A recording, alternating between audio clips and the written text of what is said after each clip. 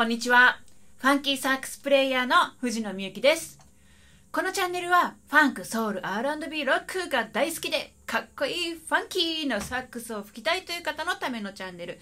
チャンネル登録まだの方はぜひぜひよろしくお願いします。それでは、今日の課題に参りたいと思います。今日の課題はですね、フラジオ編第2弾というのをお送りしたいと思います。以前の動画でですね、フラジオの出し方という動画をアップさせていただきました。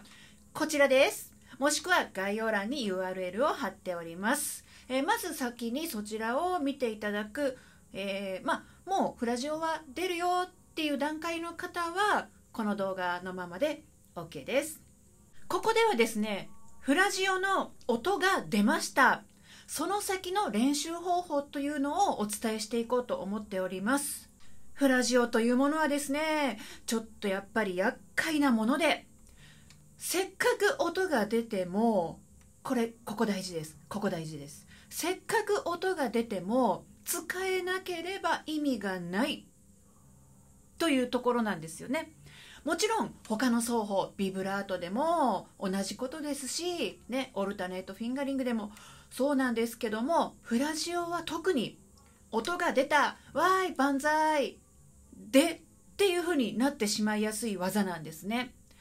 なのでフラジオの音がせっかく出ましたという方はですねもったいないので次の段階の練習を始めていきましょう。先ほどもお伝えしましたがフラジオは使えないと意味がありません。例えばフラジオの「ラ」が出たとします。これですね。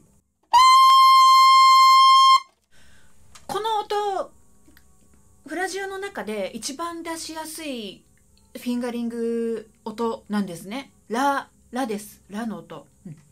ラの音じゃあこれをどう次はどうしていくかね。せっかく出たものをどう料理していくかなんですけどもここです。ここが答えです。せっかく出るようになったフラジオの音。例えば今のでしたらラの音。このラの音はフレーズで練習しましょう。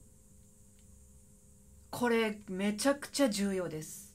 メモしてくださいね。フラジオはフレーズで吹けないと意味がありませんよ。ということです。例えば私も一番最初にできたフラジオの音っていうのが今のラの音なんですね。でその次に練習したのがこういうフレーズです。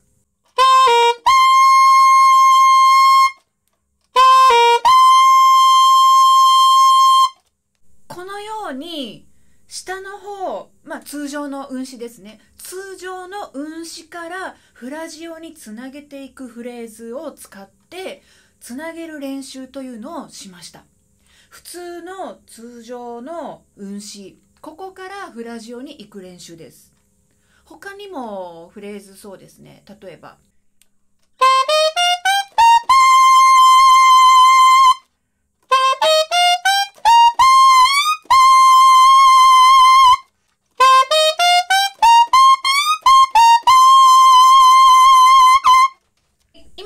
ですね。ラドレミソラ。ねソとラがフラジオなんですけどもここを使えるようにそういったフレーズを研究しましたね。特に私が研究したフラジオはデビッド・サンボンさんのフラジオですね。デビッド・サンボンさんのフラジオのフレーズ。こちらを研究しました。ですのでラのフラジオが出るようになりました。ソのフラジオが出るようになりました。じゃあ次の段階はどうしたらいいんですか？ね。このフラジオを使っている人のフレーズを探してきてそのフレーズを一部分でもいいのでそこばっかりを練習する。フラジオはフレーズで使えないと意味がないです。まあ、例えばねさっき私が今吹いたフレーズ「ラドレミソラ」とかこれ結構フレーズになりますので、まあ、これの練習をしてみるね。で練習をする際に途切れないようにこうレガーとつながった感じ、ね、になるように気をつけながら吹く。つながっているように聞こえるように吹く。ということですね。良くないつながり方というのがこういう感じです。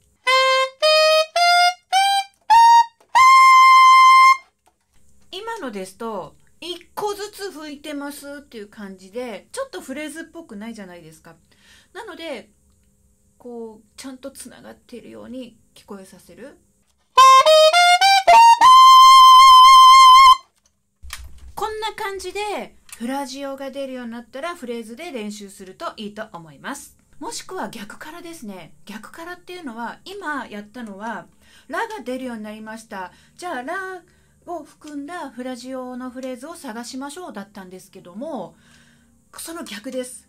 今度は逆です。好きなプレイヤーさんが吹いているフラジオが入っている曲を聴いてあこのフラジオ吹きたいイコールこのフレーズ吹きたいっていう意味でもありますのでフラジオが入っているフレーズを練習するっていう発想でもいいと思います。そのフラジオを含んだフレーズが吹けるようになったら今度はその CD に合わせて吹けるようにしてみましょう。とにかく今日のテーマはですねフラジオは使えなければ意味がないということですので皆さんも次ねこのフラジオができるようになりました。じゃあ次の段階ねかっこいいフレーズとして吹けるように頑張ってフレーズとして練習していきましょう。そしてねバンド練習とかジャムセッションとかここぞという時に使えるようにアイリアルプロとかねカラオケとかに合わせて練習してみるのも手だと思います。以上がフラジオの練習の手順でございました。皆さんもねフラジオは本当憧れですよね。かっこいいですよね。私ももう本当にね前の動画でもお伝えしたんですけど血が出るぐらい練習しましたので、まあ、そこまでやらなくてもいいんですけども皆さんも頑張って根気よく続けてみてください。それでは今日も最後までご視聴いただきましてありがとうございました。また次の動画でお会いしましょう。ではでは。